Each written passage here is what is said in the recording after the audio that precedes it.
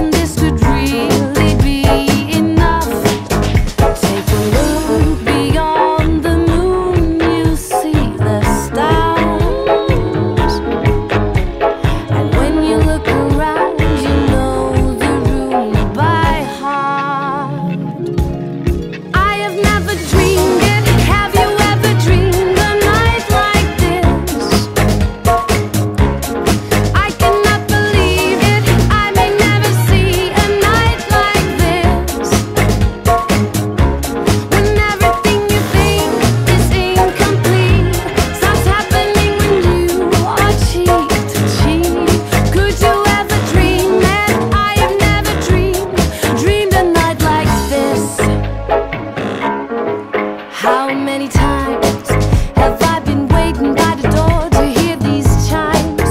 To hear that someone debonair.